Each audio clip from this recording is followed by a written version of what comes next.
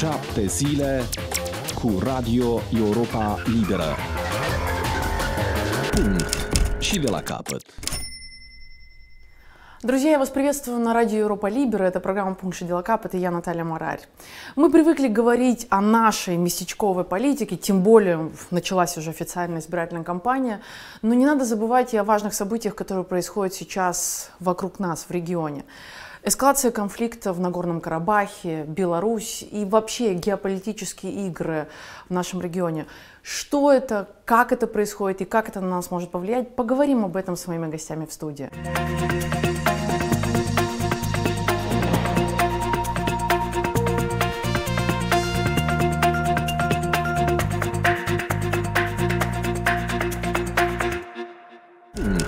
Și de. Итак, друзья, как я уже сказала, в Нагорном Карабахе очередное обострение конфликта, уже второе за этот год. Это самая долгая война, которая началась еще в конце 80-х годов. И самое время вспомнить вообще о замороженных конфликтах на территории бывшего СССР, и о том, как это может сказаться на нашей стране, и о том, как вообще геополитика влияет на такие страны, как Молдова. Об этом я хочу поговорить с моими гостями в студии, экспертами и по внешней политике, и по безопасности. Верилом Чубатару и Антолом Сарану. Добрый день, добро пожаловать на Европа Либер. Здравствуйте, спасибо за приглашение. Для нас в Кишиневе важно, что сейчас происходит на Горном Карабахе? Абсолютно важно. Мы, к сожалению, прикованы к этому конфликту военному э, тем, что на нашей территории существует э, э, непризнанная э, республика, сепаратистская республика, поддержанная Москвой. И э, эта непризнанная э, сепаратистская республика входит э, вместе с э, Горным Карабахом, Арцахом, значит, в так называемое Содружество непризнанных государств. Второе, Республика Молдова продолжает быть членом э, Совет- э, Сою- э, Содружества независимых государств, СНГ. Э, С одной стороны, с другой стороны, мы являемся вместе с Азербайджаном и Арменией членами э, European Partnership, э, значит, партнерства, европейского партнерства. То есть существует много форматов, в которых мы пересекаемся, в которых мы живем вместе с армянами и азербайджанами в, оп- в определенном геоэкономическом, геополитическом, геоисторическом, геоэтническом регионе, в одном э, регионе, и поэтому все, что сегодня там происходит, косвенно э, или прямо э, влияет и на, в какой-то степени и на нашу жизнь. Не говоря уже о той маленькой, но достаточно э, э, визибельной э, диаспоре, азер- азербайджанской и армянской диаспоре в Республике Молдова, которые политически очень активны, которые э, продвигают э, свое видение диаметрально э, противоположное о том, что там происходит, и э, влияет в том числе и на э, политические дискуссии, на то, как мы воспринимаем этот конфликт. Мы видим э, очень активное участие, э, по крайней мере, на уровне переговоров в этом конфликте таких стран, э, крупных стран, как США, Россия, Франция и Турция. Эм, Если вспоминать Дзержинского, великую шах- шахматную доску, Нагорный Карабах — это, это шахматная игра, где опять столкнутся геополитические силы или на самом деле может быть достигнута определенная договоренность и, и, и найден какой-то консенсус. Потому что мы в Молдове каждый раз говорим о противостоянии Запада и Востока, то бишь России и коллективного Запада, в первую очередь США. В данном случае, в Нагорном Карабахе, это противостояние или это сотрудничество? И э, для нас что имеет большее значение? Ну, если проводить какие-то параллели между Карабахом и, например, Приднестровским ко- конфликтом, кон- который нам значительно ближе и который болит здесь непосредственно, то э, скорее нужно, нужно констатировать, что международное участие в разрешении этих конфликтов скорее привело к замораживанию этих конфликтов, нежели к их разрешению. Это когда мы говорим о ме- почему? о международном факторе. Ну, потому что, наверное, Э, эти конфликты, во-первых, имеют достаточно глубокие корни, это первое. И второе, потому что э, существует большая геополитическая игра, а эти конфликты являются лишь элементами этой игры. И до тех пор, пока не, дости- не достигнут какой-то определенный консенсус между большими игроками по определенным точкам, очень трудно предположить, что в этих точках произойдет разрешение, учитывая, что эти большие игроки имеют веское слово сказать э, в разрешении этих конфликтов. Что касается народного, э, Нагорного Карабаха, то тут нужно констатировать одну вещь. Э, э, принципиальное различие между Приднестровским конфликтом и Карабахом – это то, что в Карабахе присутствует явная этническая компонента, в то время как в Приднестровье она… Религиозная. Ну, разумеется. И религиозная, да, э, безусловно. Культурно-религиозная, скажем да. так. Э, здесь, э, в, Придне, в Приднестровье или в Приднестровском конфликте этот элемент ну, настолько затушеван. Да, и он вообще не он, он, Нет, он существует в какой-то мере, но он совершенно не определяющий. Это первое. Э, и это делает карабахский конфликт значительно более труд, труднее разрешимый, нежели Приднестровский конфликт. Но тем не менее, в Приднестровье так и не было достигнуто какого-то существенного прогресса. И это еще раз говорит о том, что до тех пор, пока не существует какая-то договоренность между большими игроками, вовлеченными в, э, в урегулирование, до тех пор трудно предположить, что это урегулирование можно достичь. Поэтому возвращаясь к Карабаху и, э, так сказать, проводя какую-то линию сравнения с Приднестровским конфликтом, мы можем сказать, что Приднестровский конфликт – это не внутренний конфликт, который решается э, на оси Кишинев-Тирасполь. Это не, на, этой, на этом э, расстоянии… Вы меня опередили, я хотела задать именно этот вопрос. На этой оси невозможно да. его решить. Э, точно так же, как невозможно решить этот конфликт на оси э, Ереван-Баку все это уже вышло за пределы. Хотя, если бы у нас было время, мы могли бы поговорить о истории конфликт, этнического конфликта на Кавказе между азерами и между армянами. Это, это многовековая история. Лучше не надо. Ну да, это, это займет слишком это очень настолько, много. Нет, просто очень болезненный и для тех, и для других. Ну да, но мы там Две можем, совершенно разные истории. Мы можем да. достаточно отвлеченно говорить об этом, потому что это нас непосредственно не касается. Да. Но если не говорить об этом, трудно понять, а в чем, в чем заключается суть, суть этого конфликта. Потому что, э, и что самое главное, Карабахский конфликт, который был самым первым, собственно говоря, на территории э, еще Советского Союза. Еще, да. И он, и Карабахский начал... в 87-м, но вообще-то в 88 феврале, да, да. когда Степанакерт, Степ, Степанакерт да. провозгласил свою независимость, да, да, да. и это привело уже к открытому конфликту. Так вот, нужно сказать, что Карабахский конфликт это была звонкая подчечина, данная концепции так называемой дружбы советских, э, народов. советских народов.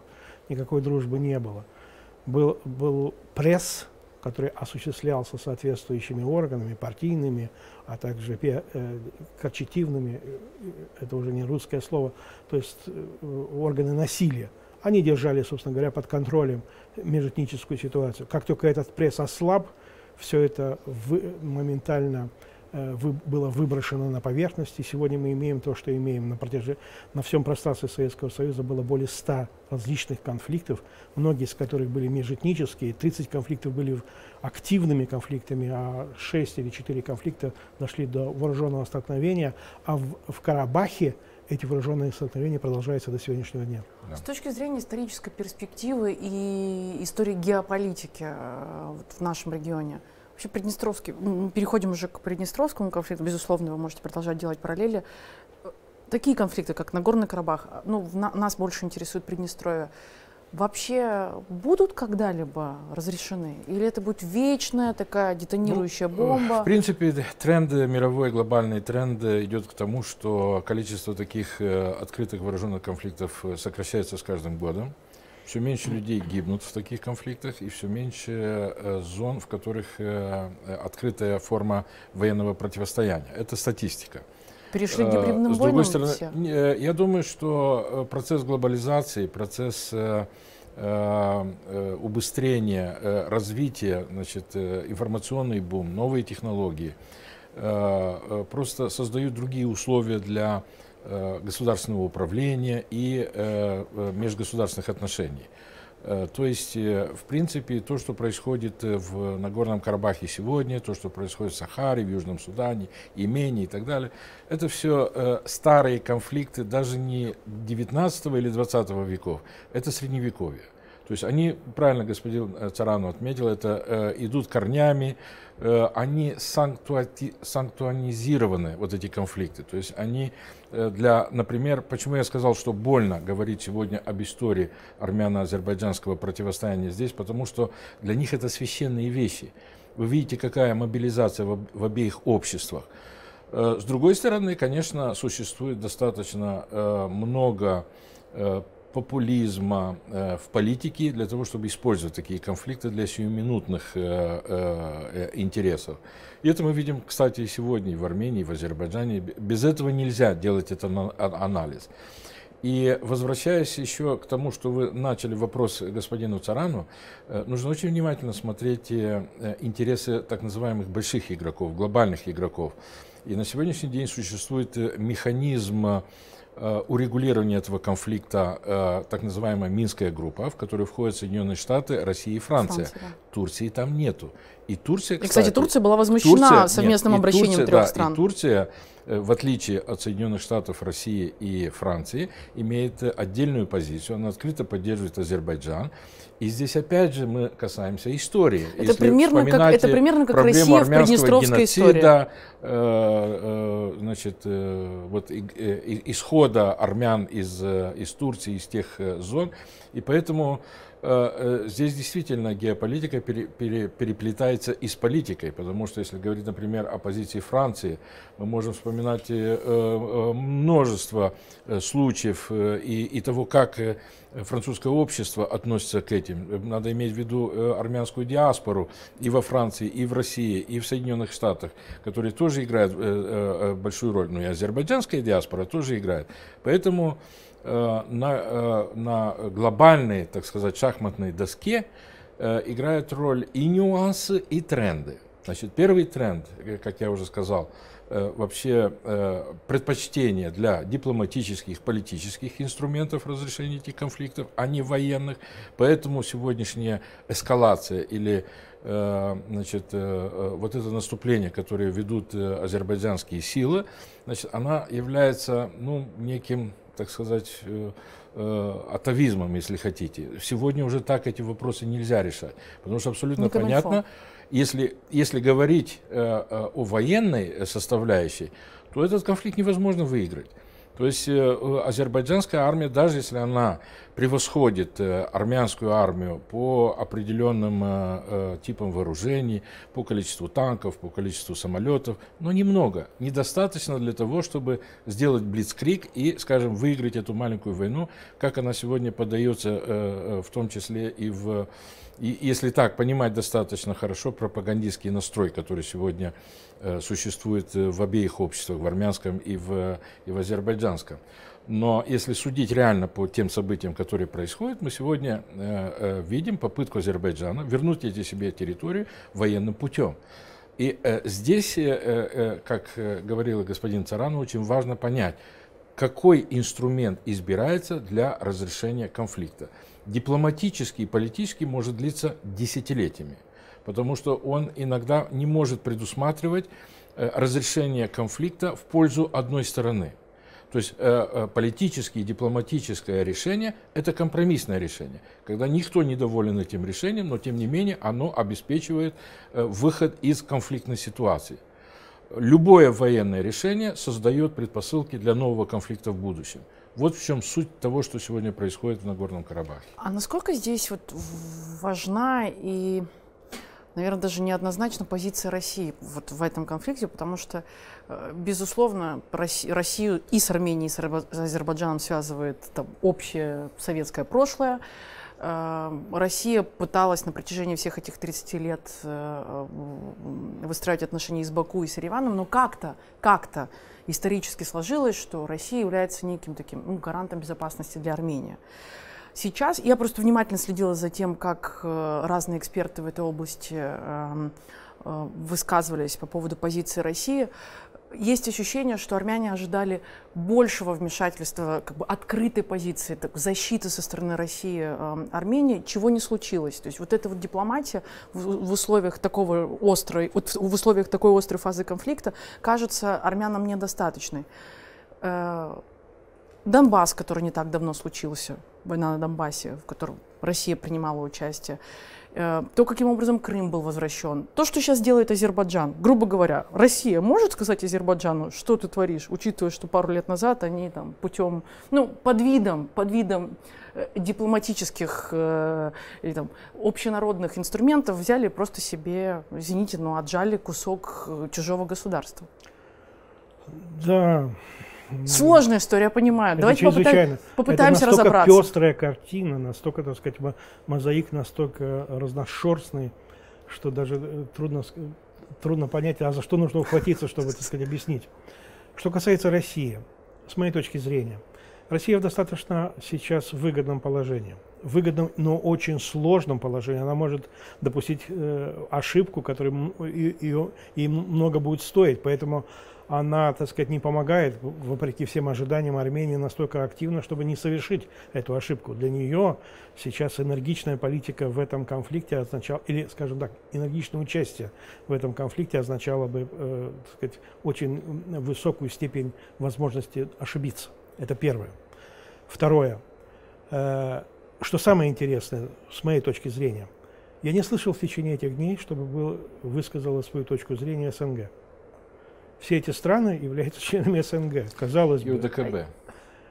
Здесь И Азербайджан Это является... э, является? Является членом А, УДКБ. да-да-да, он тоже, и, и ОДКБ, это так. Но, про- да, но проблема заключается в другом, что СНГ, которая по, по определению должна была бы выступить и сказать, это, это главная, так сказать, международная организация э, в этой зоне. Обе страны, конфликтующие между собой, являются частью и ООН вовлечена, сказать, Совет Европы вовлечен, Минская группа высказывается и говорит, что нужно делать, а СНГ молчит. Это О еще раз это говорит говорит? о том, что СНГ это мертвая организация. Это не функционирующая организация. Это организация, которая пол- полностью подчинена Москве и говорит голосом Москвы. То есть это не международная И поскольку Москва решила сейчас активно не выступать, Да, не СНГ не, дал, не позволено Это так.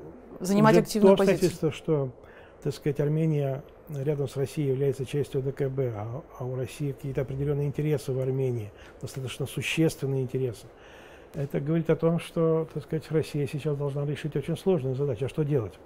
ОДКБ предполагает, что нужно помочь стране члену ОДКБ в, в случае, если страна член ОДКБ подверглась агрессии.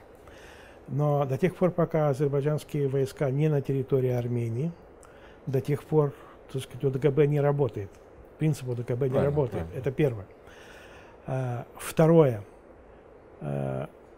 У Москвы достаточно сложные отношения с Ереваном после прихода к власти Пашиняна О, в Ереван. Это, это следующий вопрос, который вы, вы прямо отгадываете сегодня все мои вопросы. Ну, Потому что для это- них это- Пашинян, это на для них Пашинян это лидер, который пришел к власти, Власти, в результате который- протестов. и, И который пока чрезвычайно усложнил отношения с Москвой. Предбелорусский вариант. абсолютно, то есть для них такие лидеры очень неудобны. Конечно. Учитывая, что есть свой И Навальный теперь, и так теперь далее. Мо- Москве что остается?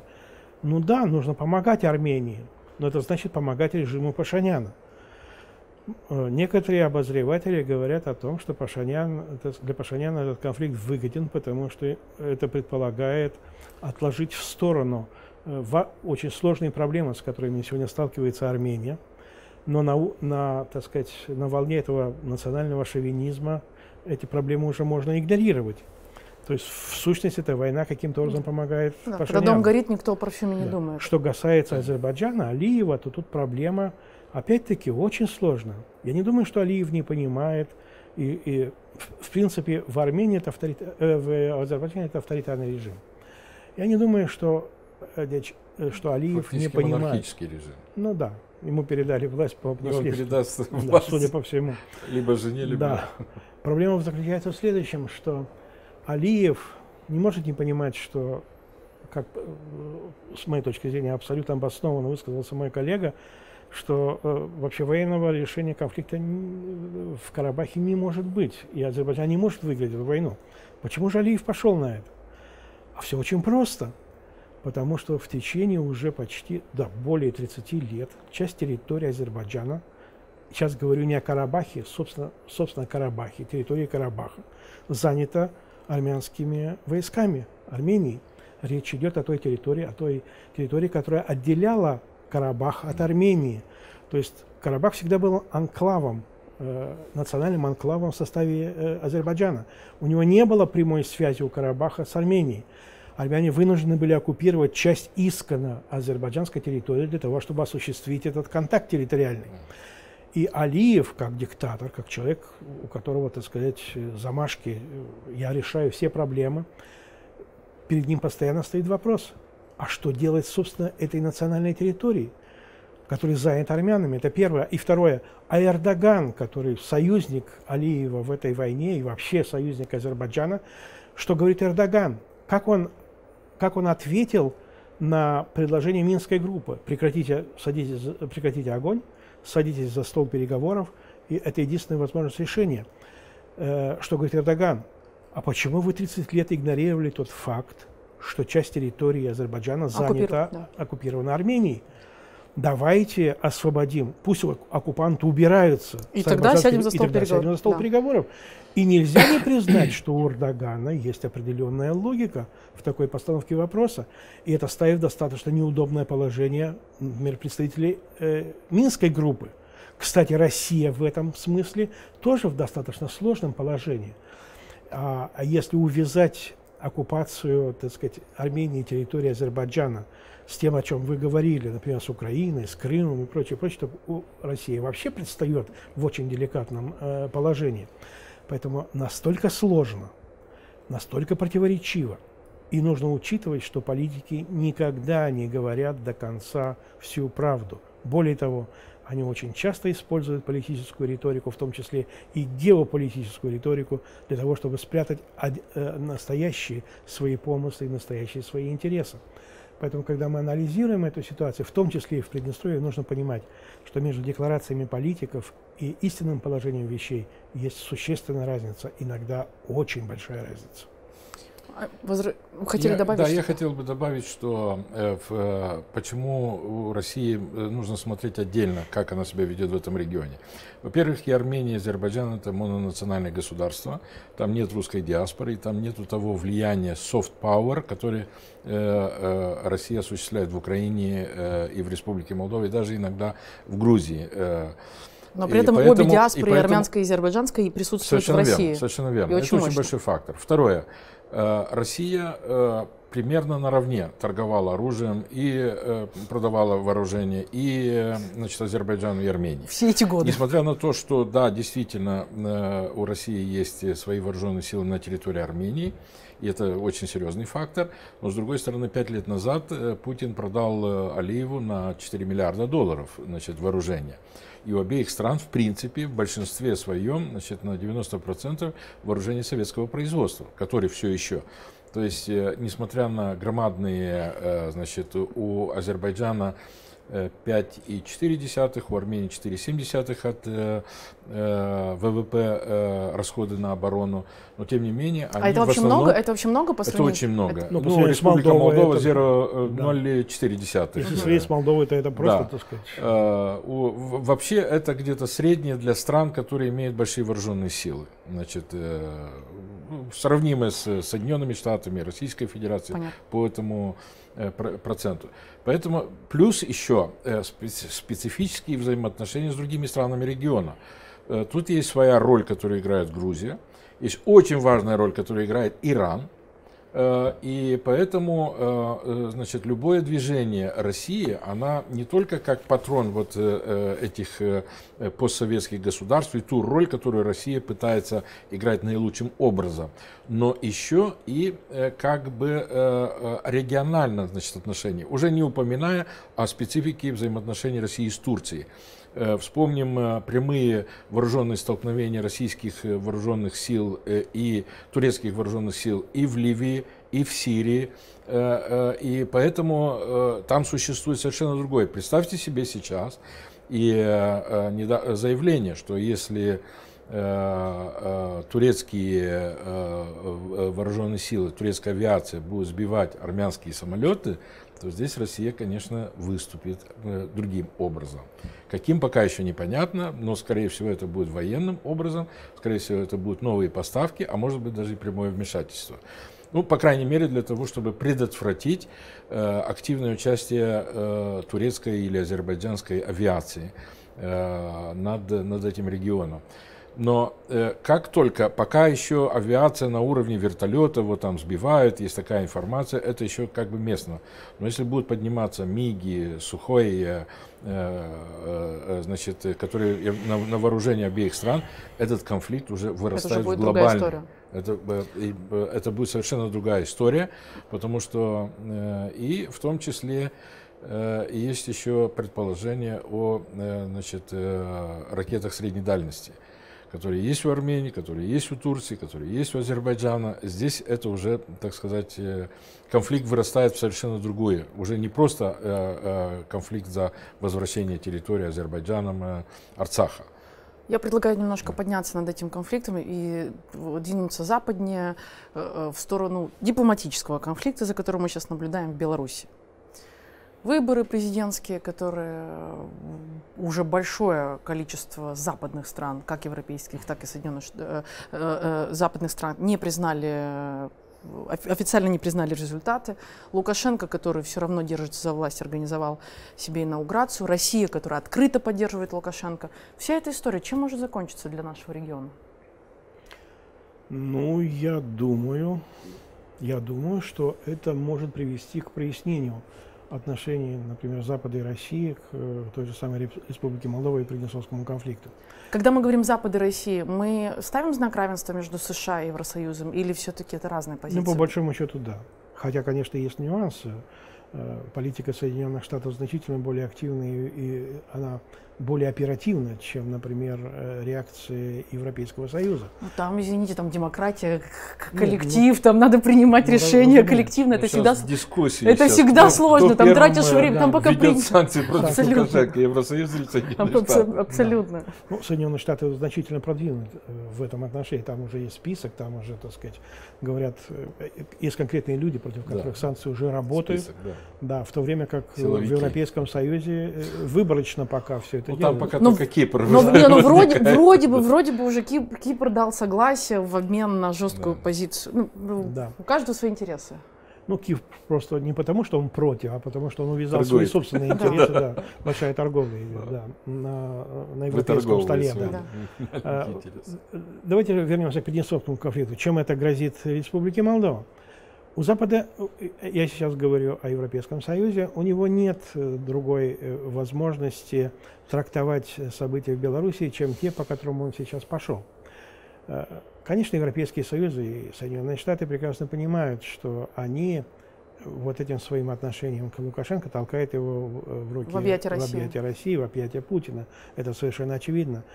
Но потери, которые могли бы быть э, на внутреннем, во внутреннем плане в Европейском Союзе, в Соединенных Штатах, они настолько большие, в случае, если бы они бы они запоздали э, катастрофически с тем, что они делают сейчас в Беларуси, очень большие. Запад по определению не может по-другому трактовать то, что произошло в Беларуси. Это значит пойти против собственных ценностей, против того, на, на чем, собственно говоря, зы, зыждется. А на ваш взгляд, Лукашенко досидит до конца мандата? Ну, вы знаете, трудно сказать. Трудно сказать. Дело в том, что э, белорусская оппозиция, она лишь только себя сейчас систематизируется, она структурируется. Она же ее, собственно ну, говоря, да. не существовало, Абсолютно. этой самой оппозиции. Но да, ее, были, ее забили под плинтус, ее каждый раз да, разгоняли, каждый раз сажали. Люди, были отдельные люди, которые выступали, но на уровне общества серьезной организации оппозиции не существовало. Но с другой стороны, а, как говорят сами представители с, с, э, белорусского гражданского общества, возможно, именно это спровоцировало вот так, развитие такого, гражд... вот, такого гражданского активизма во всей Беларуси, что на самом деле порой даже важнее, чем э, а, активность политик, политических игроков. Ну, совершенно этого, этого уже не остановить Лукашенко. Да, это не остановить. И что, вы знаете, Лукашенко приговорен. Проблема во времени. Сколько он удержится, как вы говорите, сумеет досидеть до, до конца мандата или уйдет до того, как я думаю, что не это самое интересное. Проблема, проблема Белоруссии сегодня это проблема России. Э, да, до, этого, до этих событий Россия господствовала в, в, в коллективном менталитете Беларуси, можно сказать, абсолютно. Россия это Россия, об этом даже не обсуждалось. Сегодня там происходит очень серьезная Глубокая дифференциация, конечно. Да. И И, Именно из-за позиции России конечно, поддержки открытой Лукашенко. С одной стороны, Россия приговорена поддерживать Лукашенко, потому что Беларусь чрезвычайно важна в военно-стратегическом плане для России. И, и Россия просто нуждается э, в объединенном режиме в, Минске для того, чтобы обеспечивать свою безопасность на этом, э, на этом э, направлении стратегическом. А с другой стороны, в историческом плане Россия, несомненно, будет терять вот эту вот квази-унанимную поддержку в Белоруссии, а это уже чревато. Ну да, после Украины еще вариантами. и Беларусь. Господин Чуватор, я уверен, что у вас Значит, есть много э, что Я сказать. думаю, что э, ничего нового здесь не произошло и произойти не может. То есть режим Лукашенко все равно был персона грата в Европе, они даже не являются членами Совета Европы. И в этом отношении, хоть вводи санкции, хоть не вводи санкции, э, э, серьезно не изменит э, позицию европейскую. Ну, согласись, Но что... в чем интрига? Извини, Одну согласись, да. все-таки Европа и Соединенные Штаты значительно изменили свои отношения к Лукашенко в последние годы, mm. до, до президентских выборов. Правильно, потому Они что... пытались использовать Правильно, Лукашенко. потому что Лукашенко начал активно использовать альтернативные варианты э, сотрудничества. Во-первых, пустил китайцев, я был этим летом э, в, в Беларуси. Кстати, До я выборов, согласен да? с вами. Там очень активная политическая жизнь, кстати, в, в Минске. Другое дело, что она не видна, другое дело, что она забита, другое дело, что они все сидят либо в, э, в Варшаве, и в Вильнюсе, и в Киеве, или в тюрьмах и так далее. Но на самом деле там есть очень интересные политики, очень интересные люди. Просто действительно а, белорусское общество еще живет вот теми Э, э, по, тому темплейту и модели Советского Союза. В 2011 году, когда я был в Минске, у меня было такое представление, что такое же было бы у нас, если бы сохранился Советский Союз. Ни одной западной рекламы и так далее. Совершенно другим я увидел Минск э, прошлым летом. Это уже достаточно много присутствия западных фирм, западных реклам и так далее. То есть вот эта открытость Лукашенко давала, открытость к сотрудничеству с Западом, Э, давала какую-то значит, надежду, что действительно страна может э, каким-то образом демократизироваться и стать полноправным членом э, международного сообщества. Такого не случилось. И сейчас самая большая интрига, проглотит ли Российская Федерация Беларусь полностью, либо будет сохраняться то статус-кво, которое оно было до вот этих президентских а что выборов. проглотит? Проглотите это действительно объявите реальным созданием союзного государства. То есть э, пустить полностью механизм. Э, это может быть и военная оккупация в случае, если бы выиграла бы оппозиция или э, Лукашенко каким-то образом бы пал бы либо, так сказать, сделать это мирным, тихим soft-power путем, ну, понятно, что Лукашенко э, уже э, после всей той риторики э, антироссийской и после тех личных скандалов, которые были у Лукашенко с Путиным и с Медведевым, вряд ли можно говорить, что Россия поддерживает Лукашенко. Она скорее поддерживает свое присутствие, как говорил статус Царану, статус-кво. И Россия, конечно, хотела бы то есть э, Россия не хочет сейчас проглотить Белоруссию или чтобы Белоруссия стала частью Российской Федерации, но э, Россия боится потерять Белоруссию, не хочет допустить западного влияния, то есть чтобы Белоруссия стала бы действительно независимым и достаточно отстраненным от Российской Федерации государством. Но Поэтому... в долго, ну, долгосрочной перспективе, учитывая, что вот уже долгосрочно скоро, я думаю, скоро, что Лукашенко уже, заменит. Да, скоро уже два через месяца, год, как белорусы через протестуют. Год, э, то есть Лукашенко э, действительно в том виде, в котором он есть, во-первых, э, это э, очень эфемерная и очень недолгосрочная э, э, стабильность э, власти. Э, то есть э, в России очень прекрасно умеют э, проводить социологические опросы, видеть настроение граждан и так далее. И я думаю, что они прекрасно понимают, что силовые структуры Беларуси долго не выдержат такого психо психоэмоционального настроя. И фактически э, придет время, когда они сами его задушат, э, Лукашенко где-то. Вот вопрос. Понимаете? Вот, и это, поэтому, вот эта замена, поэтому, вот вы говорите, да, и Лукашенко да. заменят. Эта замена будет неким, э, будет обусловлена внешним фактором российским, или это внутренняя ситуация настолько ну, вот настолько э, внутренние элиты, э, силовые, э, поймут, что ну уже невозможно, для них Лукашенко становится слишком большим риском, поэтому они его проглотят и сами заменят на кого- Э, Как это- Я по какому думаю, пути это потому, потому, по той модели, как Россия действовала в, э, значит, э, в Крыму, в Украине, как она действует сегодня в Армении, Азербайджане. Я, я, я начал фразу, сказал, что мононациональный, там нет диаспоры. Но э, и у Российской Федерации есть очень серьезная э, резидентура и в Армении, и в Азербайджане, и в Баку. И она очень много контролирует из, э, и экономическим путем. Вы не забывайте, что Азербайджан экономический партнер, все эти нефтепроводы и так далее, это очень серьезное. И это очень, часть очень серьезная для Российской Федерации. Поэтому Россия прекрасно знает, что там происходит. У нее есть возможности действовать через свою агентуру, через э, пятую колонну. Она не так видна в Армении и в Азербайджане из-за мононациональности, но она существует. То же самое и в Беларуси. Я думаю, что э, э, спецслужбы Российской Федерации рас- э, работают достаточно активно. Я думаю, что на сегодняшний день э, Россия, в принципе, готовила, ну как-то анемично готовила замену Лукашенко.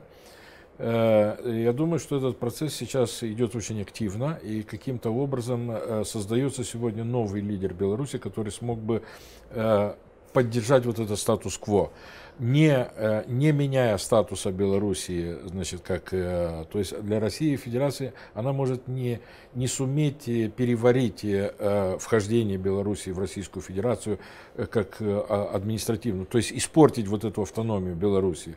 С другой стороны, она не может выпустить Белоруссию из своей- из-под своего влияния. Поэтому нужен новый лидер, он, он сегодня готовится, готовится определенно другими методами, чем это было в Крыму. Э, безусловно, там э, сегодня видно э, очень много креатива в создании, так сказать, есть. Но вот это удержание Беларуси в сфере, так сказать, полностью российских интересов, это сегодня очевидно.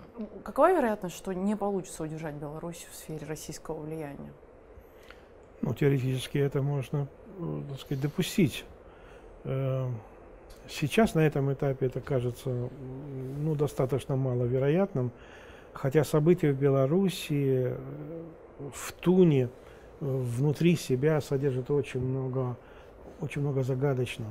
Кто знает, как может проявить себя белорусский народ, который до сих пор был настолько послушным, э, лояльным этому самому Лукашенко и прочее, прочее. Но вот то, что произошло сейчас в Беларуси, это еще раз говорит о том, что страну не- страной нельзя руководить на уровне менталитета пред- председателя колхоза.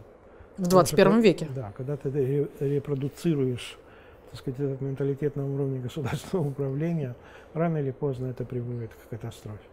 Что касается спецслужб, да, они действительно, они, российские спецслужбы всегда отличались определенной креативностью и достаточным, достаточным влиянием, особенно на постсоветском пространстве. Это вполне естественно. Да, в некоторых странах даже удалось президентом посадить агента спецслужб. Да. Но по большому счету э, Белоруссия сегодня, несомненно, одна из самых интересных точек Европы. Потому что, собственно говоря, на, на, белорусском, на белорусском опыте сейчас проверяется, проверяется э, то, что называется столкновение цивилизаций. Хантингтон в этом отношении, он Белоруссию не учитывал в своих сказать, расчетах. Он скорее говорил о Кавказе, э, о мусульманском, христианском мире. Но вот Белоруссия стала такой точкой. Вот сейчас на этом оселке проверяется, проверяется восприимчивость для больших народных масс то, что называется цивилизационным выбором. Это западный цивилизационный выбор или евразиатский цивилизационный Совершенно выбор. верно. И совершенно очевидно, что Запад сейчас и э, позиция Запада в отношении Беларуси это не что иное, как, э, как рецепт, это западные рецепты или западные цивилизационные рецепты для переходного общества. И в то же время Путин В приходит... том со числе и роль женщины. Разумеется, разумеется. И- Тихановская в этом отношении Да, как не бы- только Тихановская, вообще Да. весь Вообще, да, имидж. да. Там э, вообще женская да, революция. да, если да, эту да. революцию можно как-то, если называть это революцией, Мужчины и в как-то ее назвать, то она должна быть женской. Женская Да. С революция. женским конечно. лицом, да, абсолютно. конечно, да. Причем не только, не, не только дело в женах э, Да. э, Тихановской, И не как только в лидерах. и- не только в лидерах, а и в самом протесте. То есть женщины Да. действительно оказались о, э, невероятно активны в, в Я думаю, что. Путин, прекрасно, и люди, которые обеспечивают интеллектуальное, так сказать, прикрытие путинской политики, они прекрасно это понимают, и они каким-то образом сейчас ищут. Поэтому для них силовой вариант решения белорусской проблемы неприемлем. Это значит было бы провести очень четкое разграничение между двумя цивилизационными выборами, а России это невыгодно. Она в цивилизационном сравнении, э, она проигрывает по всем параметрам по всем. А этот цивилизационный выбор, о котором вы говорите сейчас вот в Беларуси, здесь, в Молдове, он, он, он когда-нибудь будет совершенно четко сделан, или у нас постоянно будет качаться из стороны в сторону. Мы смотрим, вот если смотреть на опросы общественного мнения, последние годы проевропейский вектор заметно выигрывает в э, предпочтениях граждан, что ну, мы вернулись, наверное, еще не вернулись к показателю, как было там в 2007-2008 э, году, но все равно, учитывая, какая власть у нас последние годы, это действительно ну, это показатель, что люди больше высказываются за про, проевропейский вектор. Но Кстати, дел... это, это, это очень интересное сказать, замечание, которое вы сделали. Э, пик симпатии к европейскому выбору у нас был именно в тот период, когда у власти находилась коммунистическая партия, Владимир Воронин, ну, которых очень трудно заподозрить в том, что они являются искренними и, так сказать, полными... Ну, сейчас у нас тоже рост. Вот смотри, да. может, на самом деле молдаване, как и белорусы, они в вечной оппозиции к власти. Да, но вот вопрос заключается в том, извини, я сейчас э, закончу. Вопрос заключается в том, а почему это случилось тогда, так сказать, в эти годы, во время правления Воронина, на последнем этапе правления Воронина? А все очень просто. Потому что молдаване – это достаточно законопослушные люди. А, если у власти находится, находится э, политическая сила, которая говорит вам, вот это так нужно делать, они вообще-то это делают. Хотя бывают, э, так сказать, отхождения от нормы. Воронин, который не был никогда убежденным проевропейцем, сказал, европейский выбор – это хорошо – и это проводилось на уровне государственной политики. И молдаване сказали, да, окей, 70% молдаван это приняли.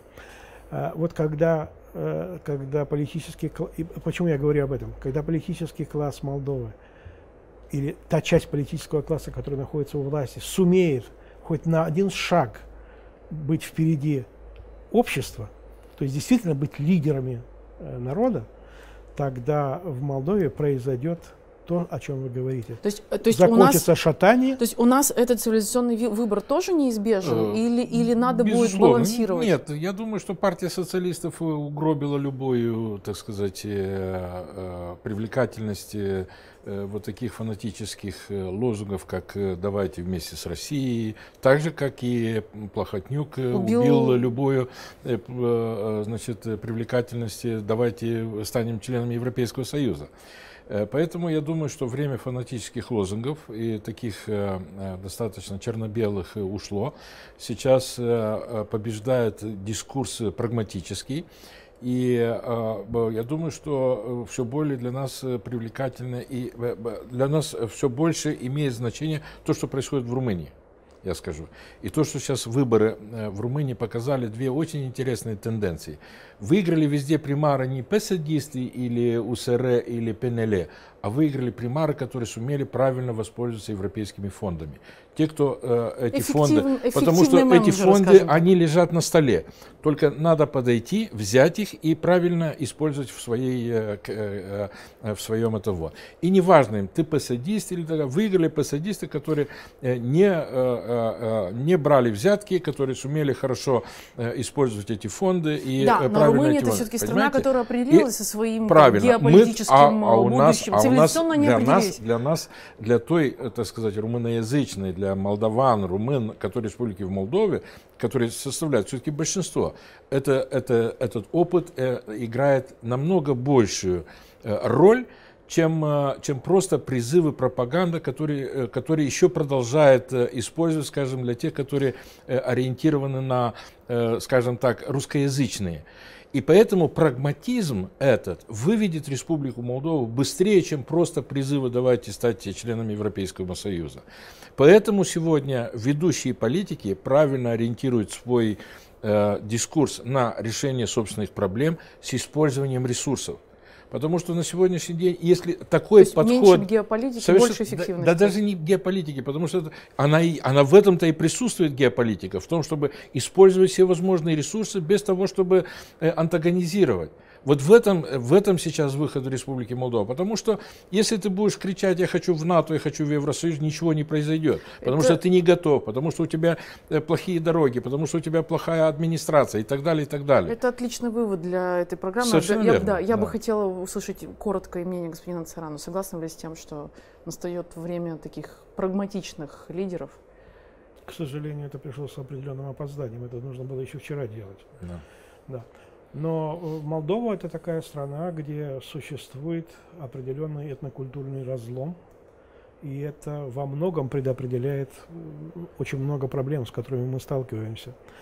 Когда в культурном отношении, не в этническом, в культурном отношении страна более или менее однородна, там проблемы решаются легче, и там э, политикам-демагогам труднее, э, так сказать, проводить свою линию. А вот в такой стране, как Молдова, здесь это существует. И поэтому, когда мы говорим о прагматической политике, может быть, самым прагматичным является попытка найти, э, найти решение гомонизации молдавского общества, то есть э, объединения молдавского Объединение. общества. Это самая трудная задача. Но без решения этой трудной, этой трудной задачи навряд ли можно будет решить все остальные задачи, которые чрезвычайно важны и которые предопределяют, собственно говоря, каждодневную жизнь лю- любого молдавского гражданина. Поэтому, когда мы говорим о э, решении молдавских проблем, мы опять-таки возвращаемся к извечному вопросу. Нам удастся наконец-то сделать гео э, или цивилизационный выбор правильный, или мы по-прежнему будем болтаться между двумя Может быть, сначала цивилизационными нужно выборами? объединить общество, и потом уже будет легче сделать. Но объединение это- общества э, может произойти через восприятие определенного цивилизационного, так сказать, э, выбора. Я благодарю вас за эту дискуссию, на мой Спасибо. взгляд, очень интересную. А мы с вами увидимся ровно через месяц на волнах радио Европа Лидера. Punct și de la capăt.